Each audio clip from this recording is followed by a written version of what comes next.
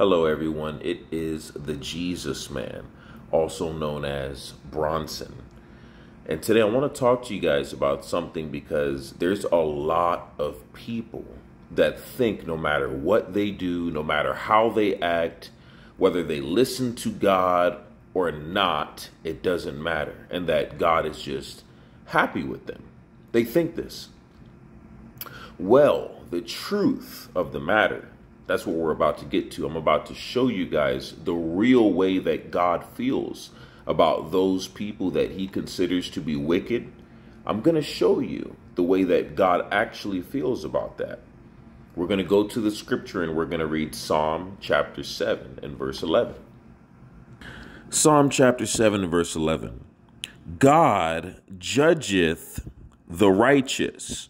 So those that are righteous God judges them. God judges the righteous.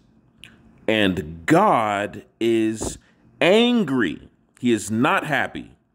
God is angry with the wicked every day. Not some days, not half of the days. God is angry with the wicked every day.